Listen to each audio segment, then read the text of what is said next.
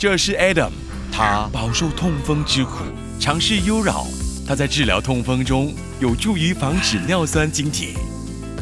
优扰尿液碱化剂有效缓解痛风。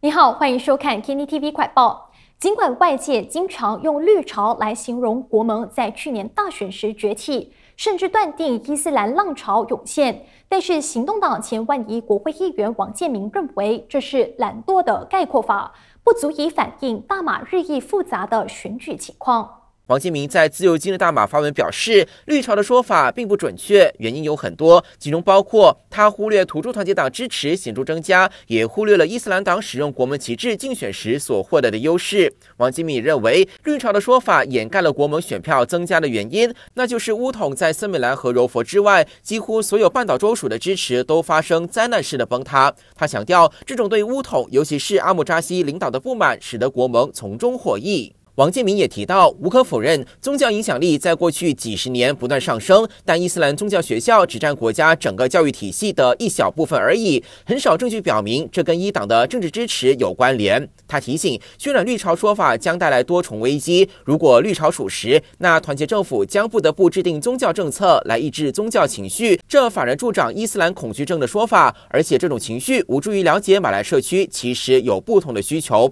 王建民呼吁政府正视政治竞争。加剧的大趋势，以及人民不再支持国政和乌统的现实。他强调，虽然宗教非常重要，但它不是人民投票的决定性因素。政治人物应该对中间选民，特别是马来选民，多加强调政策和政治的信息，以便让公共政策的想法更具竞争力，以及传递更好的公共服务。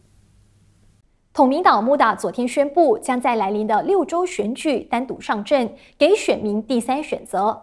不过，这个决定却引起马坡公正党的不满。公正党马坡区部秘书艾沙阿里昨晚发文告批评，相关决定违反了统民党和西盟之间选举盟约的政治合作关系。因此，公正党马坡区部决定终止与统民党马坡国会选区的一切合作形式。上星期六，安华、陆兆福和阿姆扎西三巨头都缺席昌明大马雪兰莪场的造势活动。国政方面甚至说，西蒙举办这场活动之前，并没有事先和国政商量，因此国政选择不出席。种种情况引起许多揣测。昨晚，雪州不同主席梅加祖卡奈因出面灭火，否认国政背阁相关活动的指控。他还透露，西蒙和国政计划在近期推介雪州联合政府的竞选机制，并且准备和雪州西蒙主席阿米鲁丁商讨相关事宜。双方还会发布联合声明。各大巴鲁市议会向服装店女业者开罚单而引起争议后，地方政府发展部部长尼可敏呼吁市议会撤回罚单，因为在自己店内穿短裤是非穆斯林的权利。尼克敏今天受询时呼吁市议会要尊重联邦宪法，不要滥用权力。他强调，大马是多元种族宗教的国家，相关业主也是非穆斯林，而且在自己的店内穿短裤，这是联邦宪法所保障的权利自由。尼克敏点出，市议会的举动已经令非穆斯林社会大感震惊。他希望市议会和地方政府引以为戒，不要过激或开出罚单，应该先商量、提醒或教育。Lagipun ini adalah dia adalah pekedai bukan Muslim.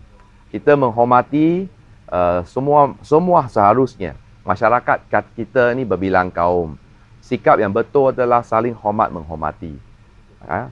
uh, bagi peke, pekedai bukan muslim ini dia nak pakai seluar pendek ini adalah kebebasan beliau dia bukan muslim 行动党全国主席林冠英今天透露，如果穿短裤而接获罚单的哥打巴鲁女业者同意，行动党将准备协助他在法庭上辩护。 另外，林冠英也指出，另一个凸显伊斯兰党极端主义的例子，就是吉大大臣沙努西早前的言论。林冠英表示，沙努西将槟城比作军事坦丁堡，并假借战争意向来鼓吹暴力，已经深深的危害国家和平，令人担忧。我过后当然讲说，我们不是要去呃打仗这些呃和平方式，而是你用这样的武器经。啊，军队的那种的呃形容啊，这个是代表什么？一个圣战。所以啊，这个是非常危险。马来西亚人民应该团结起来，对抗这种的危险的种族而极端主义的言论而行动。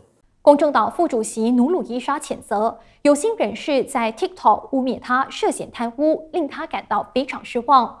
努鲁伊莎透露，有人已经报警，要求彻查这个诽谤言论。努鲁伊莎昨天在面子书写道：“他一九九八年涉足政坛至今，经历无数的攻击。不过，任何事情都有界限。他愿意忍受攻击，但他不会放过诽谤他涉嫌贪污的指控。”也是财政部部长顾问团成员的努鲁伊莎说：“我不曾做过滥用权力或政府公堂的行为，也不会接受反对党散播诽谤，特别是涉及我的信誉和诚信的谣言。”努鲁伊沙透露，已经有人针对散播谣言的事情报警。他相信国家的司法制度将会对付造谣者。努鲁伊沙认为。如果大马的政坛被诽谤文化污染，那么国家将无法进步和成功。据了解，一名女子在 TikTok 影片中表示，如果要得到合约或私吞公帑，要先问过努鲁伊莎。不过，有关影片已经被删除。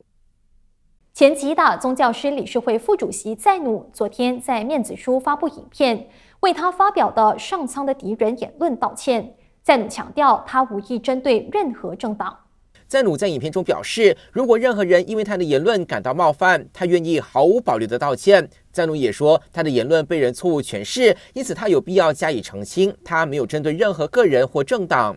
Sesungguhnya saya tidak menyasarkan ucapan itu kepada mana-mana kumpulan dan tidak mention kepada mana-mana parti politik dan juga siapa saja. 西蒙领袖昨天报警，要求警方调查赞努在吉打集会上发表煽动言论。西蒙领袖更以1985年莫马里事件和2000年奥马乌纳叛乱为例，提醒滥用宗教术语的危害非常大。数码通讯部部长法米昨晚在抖音直播尾声，警告留言的网民要小心，因为他们正在受到监控。如果接到电话或警车上门找人，就不要怪他。统民党主席塞沙迪随后批评，法米以前捍卫言论自由，如今却威胁批评者，仿佛为了权力而放弃原则。法米饱受批评后，他澄清自己只是针对触碰三 R 课题的人，而不是批评政府的一般民众。所谓三 R 课题，是指涉及种族、宗教和往事。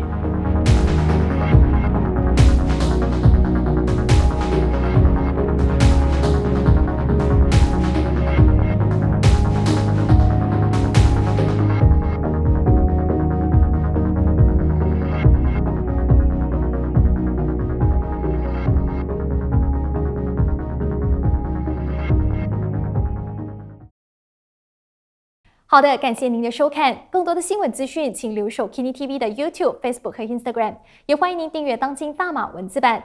我是叶慧文，我们再会。